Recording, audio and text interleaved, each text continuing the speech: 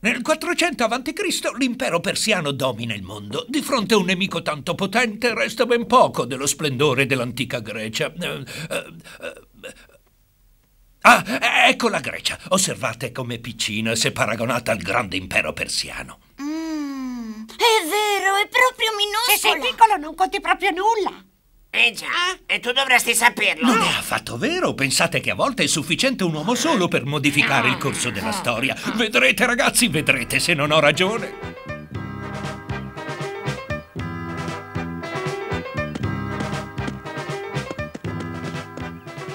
Niente male, proprio niente male. Bel cavallo. Quanto chiedi? 20 talenti d'oro. È un prezzo troppo alto. Ma è un puro sangue, un cavallo degno di un re. Voglio metterlo alla prova. Tu, monta questo cavallo. Vado, mio re.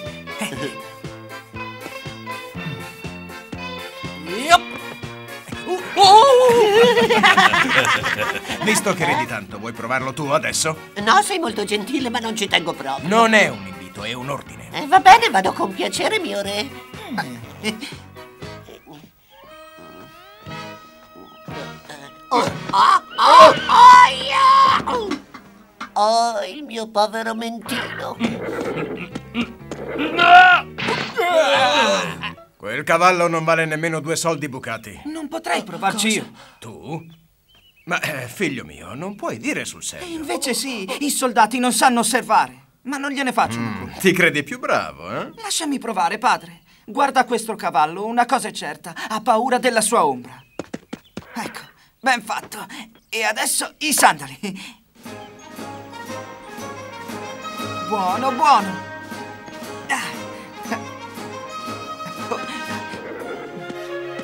Coraggio, andiamo. Corri, corri!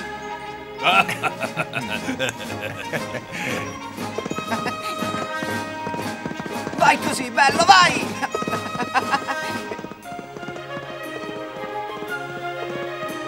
È in gamba, eh? È stato proprio bravo. Già. È proprio un cavallo meraviglioso, padre. Vale tutti i talenti che ti hanno chiesto. Figlio mio, tu amplierai i confini del nostro regno. La Macedonia si rivelerà troppo piccola per te. Alessandro chiamò quel cavallo col nome di Bucefalo e in sella Bucefalo andò là dove nessuno aveva mai osato spingersi prima di lui. Mm, ci può dire dove si trova la Macedonia? La Macedonia è un paese molto piccolo che si trova ehm, nel nord della Grecia. Nel giro di pochi anni, come suo padre aveva predetto, Alessandro il Macedone formò l'impero più immenso che fosse mai esistito nella storia dell'umanità. E Alessandro ha fatto tutto da solo. No, chiaramente fu aiutato da molte persone. Un uomo soprattutto ebbe una grande influenza su di lui, ma Alessandro non gli diede molto ascolto. E fu un peccato. Un uomo. E chi era? Ecco, era un uomo molto molto saggio. Eh, Beh, un po' come lo sono io. Salve Aristotele, eccoti qui. Ho bisogno di te. Filippo di Macedonia, che sorpresa! In cosa posso esserti utile, Sire? Potreste aiutarmi a preparare mio figlio Alessandro a diventare re. E come mai hai scelto proprio me? Beh, perché insieme a Platone sei il nostro filosofo più grande. Effettivamente, oltre al coraggio, un re deve possedere anche la saggezza. Accetto volentieri.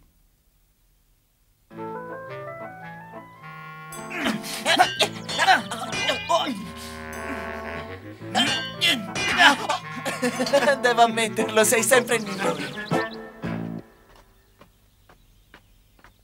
La conoscenza avviene attraverso i sensi che permettono di constatare ciò che è e ciò che appare. Quello che viene percepito deve essere spiegato dalla ragione, perché è con la ragione che si scopre il senso nascosto della verità. Guarda davanti a te, i sensi ti dicono che la Terra è piatta. Sì, con montagne e valli.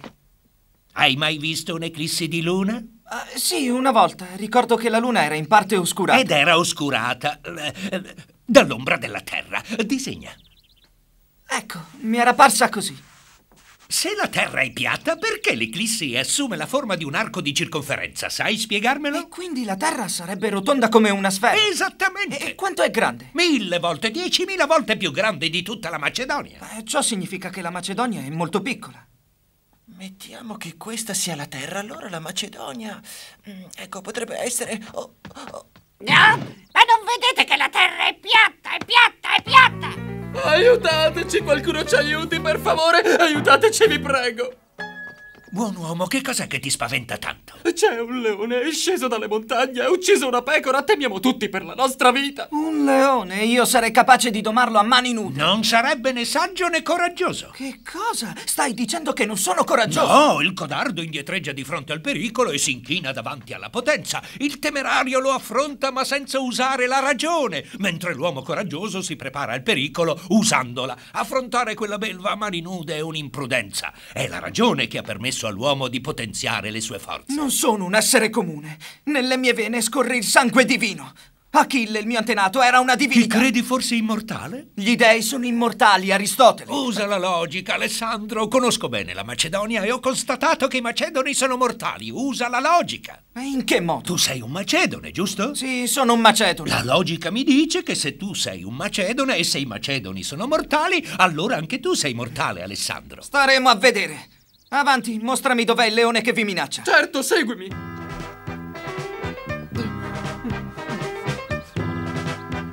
Prendete le armi, dobbiamo seguirlo presto. Allora, forza, dov'è questo leone? Eccolo! Ah!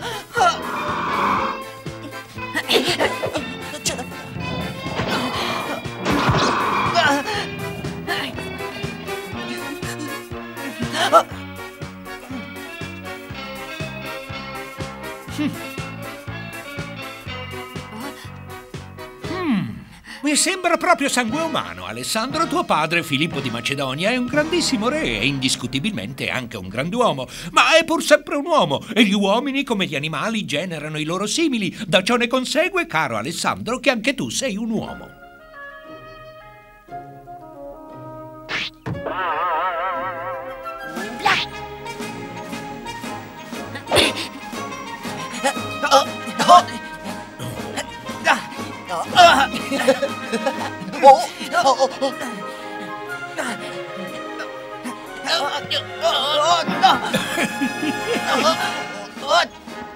Hai un temperamento troppo impulsivo, ragazzo. Le tue azioni devono essere mediate dalla ragione non dall'impeto, dalla foga. Pensaci sopra. Ti voglio bene come a re mio padre. Lui mi ha dato la vita e tu mi insegni ad usarla con grande oh, saggezza. L'amore per il re padre, il buonsenso, verranno dimenticati molto in fretta, purtroppo. Infatti, quando il re Filippo sposò in seconde nozze la giovane Cleopatra... Salute! Bella festa! Eh, sì! Prendiamo alla salute di mia figlia Cleopatra e al figlio che verrà e che sarà il futuro re di Macedonia!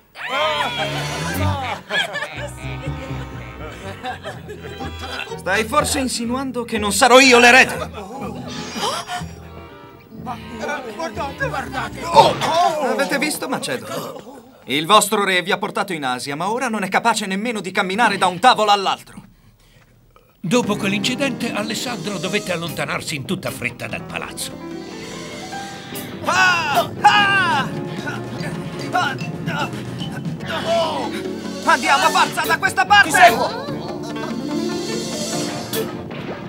Sembra che avessero fretta. Già, abbastanza, direi. Fallo entrare. Madre. Sei coperto di sangue. Hai dunque combattuto. Non sono ferite No, gravi. no, sto bene. Comunque non devi temere, figlio. Tu sei invincibile, sei immortale. Come ti ho detto, non sei figlio di Filippo di Macedonia, quel patetico re. È stato il fulmine di Zeus, il re degli dei, a darti la vita, ricordalo. Ora va. Vieni. Vieni, non temere, Pausania. Ti stavo aspettando. Cosa avrà di tanto importante da dirmi? Evviva! Evviva il nostro re! Viva! Ora sei tu il re di Macedonia, Alessandro. Tutti i beni di questo mondo non sono che un'illusione. Non dovete considerare la ricchezza come il risultato di una vita serena. Oh, oh, oh. Chi sei tu? Cosa fai? Sono Diogene, sono un filosofo. Hai un desiderio che io possa realizzare per te? Puoi toglierti da lì, grazie, mi fai ombra.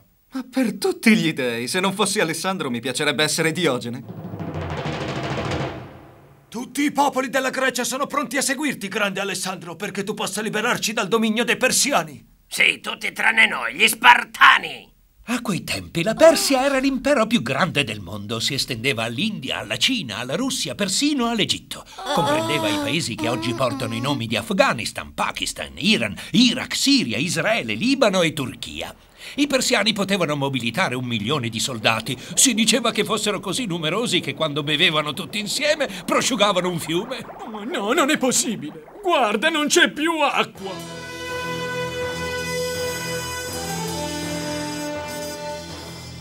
Avanti, miei prodi.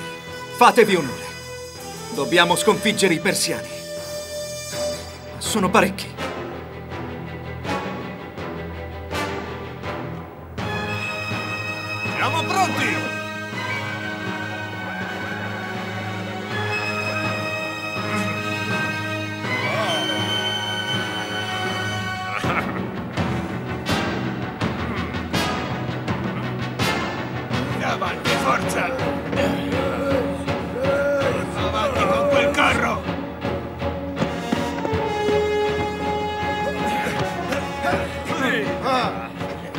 L'esercito più grande che sia mai esistito in Grecia. 3.000 uomini a piedi e 5.000 a cavallo. Sì, ma i persiani sono tre volte più numerosi. Sì, lo so. Che facciamo? So per certo che gli dei sono con me. Su, avanti, si parte!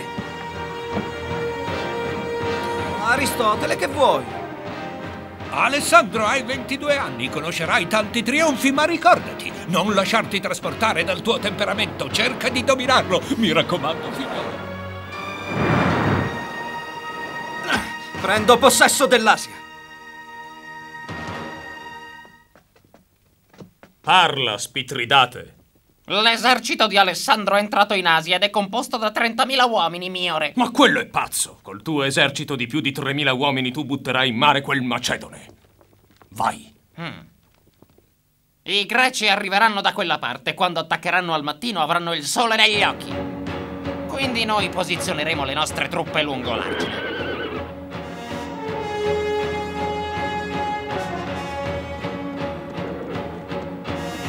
Ho avvistato i persiani, sono fermi sull'altra riva. Ci accampiamo qui e attacchiamo domani all'alba. È esattamente quello che prevedono i persiani, ma osserva, loro hanno il sole contro e noi alle spalle. È meglio attaccare immediatamente. Tu, Permenione, comandi l'ala sinistra. Tolomeo, tu prendi l'ala destra. Io attacco al centro. Alla carica! Avanti! Avanti, carica! Avanti tutti! Forza, andiamo! Respingiamoli! Avanti, avanti, forza! Avanti, avanti! Non mollate! Avanti! Resistete!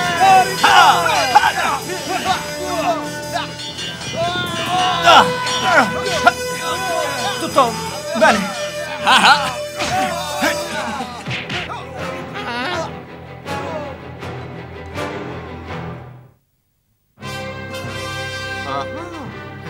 Ottimo, andiamo!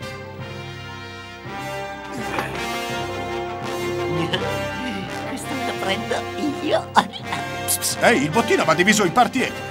Ah, ma io lo stavo solo guardando.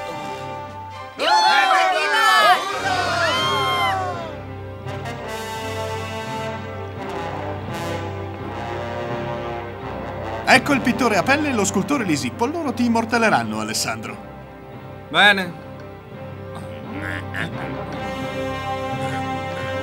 No, continuerete la prossima volta, non posso trattenervi.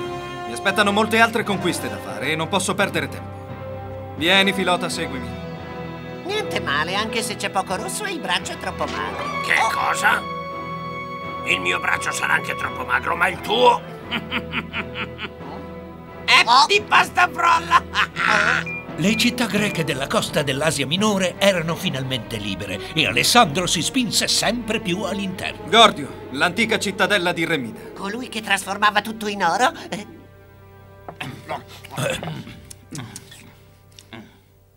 Mm, Dai. Venite a vedere, guardate cosa c'è qua. Come mai è qui questa biga? Beh, apparteneva al nostro antico sovrano Gordio. La custodiamo qui perché un oracolo ha detto che colui che riuscirà a districare il nodo gordiano sarà il padrone dell'Asia. Ma non si vede né dove inizia né dove finisce. Io ci rinuncio. Oh, oh, oh. Niente, impossibile. Ecco qui il padrone dell'Asia. L'esercito di Alessandro è potente e sempre più numeroso. Ha già conquistato tutta la Frigia. Devi prendere il comando dell'esercito. Va bene, ammetto che quel piccolo macedone comincia a darmi un po' sui nervi. Dario III, re dei Persiani, armò un esercito senza pari, ma Alessandro era ormai diventato una leggenda, non solo per le sue doti militari, ma anche per la sua saggezza e per l'abilità nel risolvere le situazioni estreme. Tutti lo temevano. Sì, le misure sono perfette. Dario è alla guida di un esercito immenso che si dirige su di noi. Pare che si tratti di un milione di soldati. E va bene, andiamogli incontro. Ma, mio re, sono molto più numerosi di noi. Potremmo rischiare di perdere. Ma un momento, non ho finito! E io non ho nemmeno incominciato. Che dici?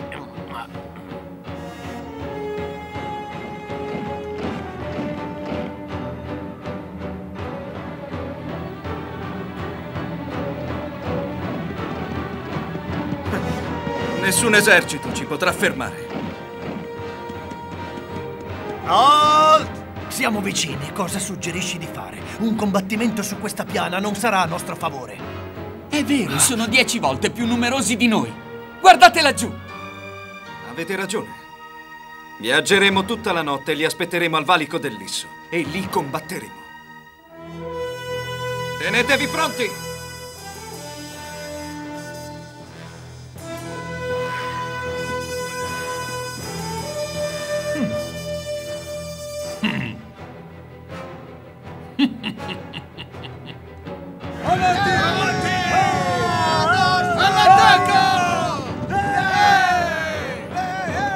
Avanti, più forte, più forte!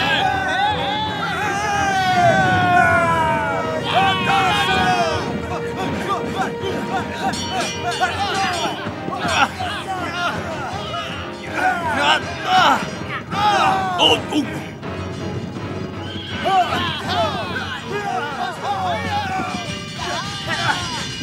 No, il nostro re si è dato alla fuga, siamo perduti! Quella dell'Isso fu una grande vittoria. Sullo slancio di un tale trionfo, il generale Parmenione conquistò Damasco, dove catturò più di 300 cuochi, 50 intrecciatori di ghirlande e 300 danzatrici. Una volta aperta la strada per la Persia, Alessandro proseguì verso l'Egitto. L'assedio di Tiro si rivelò più difficile del previsto e anche quello di Gaza. Il fuoco greco, ecco una grande novità che fece scuola. E poi Alessandro giunse al Nilo. Qui costruì la sua città, il suo porto, Alessandria d'Egitto. Il suo progetto era di irradiare da Alessandria la cultura ellenica. Infaticabile percorse altre centinaia di chilometri nel deserto per raggiungere il tempio di Sionato Ammon. perché a suo dire era necessario rendere omaggio a suo padre, il dio Ariete, Zeus, Ammon. Ti rendo onore, oh grande Zeus. Uno strano personaggio questo Alessandro.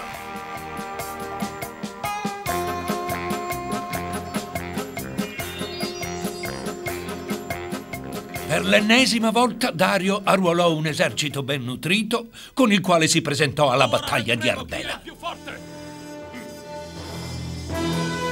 Certo però che sono molti.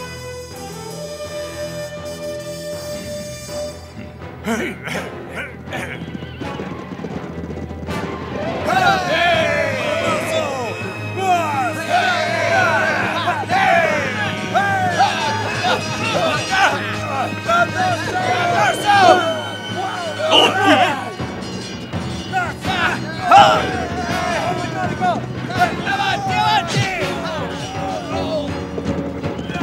Stavolta Alessandro riportò una schiacciante vittoria. Ormai era un eroe imbattibile e Babilonia l'accolse da trionfatore. Fu l'incontro magico con una nuova civiltà.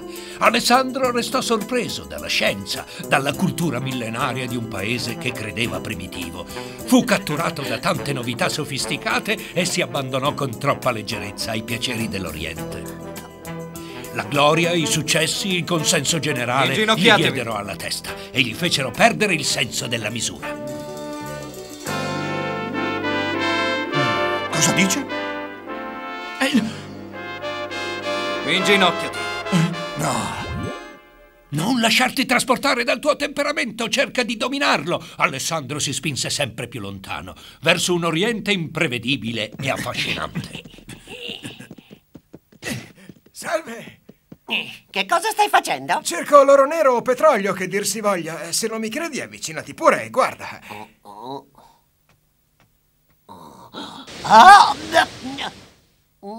Un giorno sarà la più grande ricchezza di questo paese, se non del mondo intero. Susa, una delle capitali, venne conquistata senza difficoltà. Attenti! E il bravo Parmenione conquistò gli ultimi bastioni nemici sulla strada della favolosa Persepoli.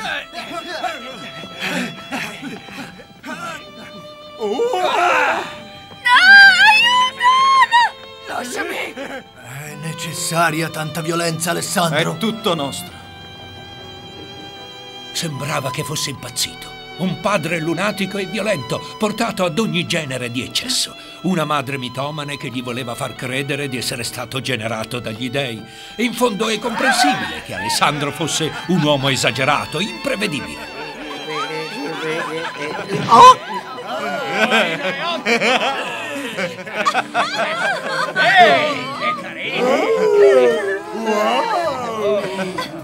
Vuoi un'altra coppa di vino? Portatemi subito una torcia!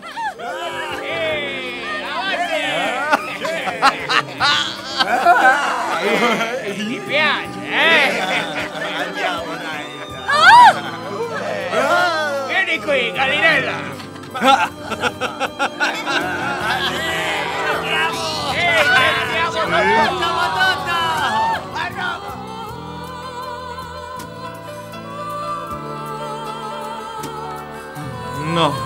come ho potuto fare questo? E partì per lidi lontani, sempre più lontani. Fermiamoci, Alessandro. Si prosegue! Dario era morto, la vittoria indiscussa, ma i suoi soldati ormai erano stanchi, il malcontento serpeggiava. Avendo perso il senso della realtà, Alessandro fece addirittura giustiziare il suo amico Filota. E poi suo padre, il fedele generale Parmiglione. Zeus, perché mi hai abbandonato? Ecco, prendi.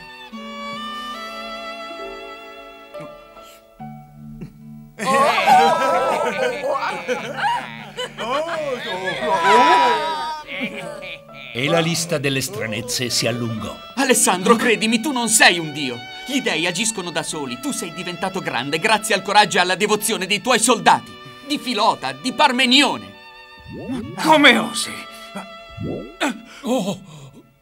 Molti dei suoi soldati percorsero a piedi 20.000 chilometri, attraversando deserti, montagne altissime, aprendo nuove strade, nuove vie marittime. Molte delle città da loro fondate esistono ancora.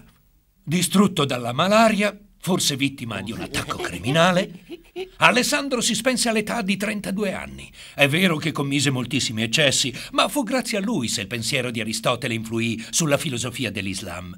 E fu su questo terreno da lui seminato che si sviluppò da lì a poco una nuova grande civiltà, la civiltà dell'impero romano.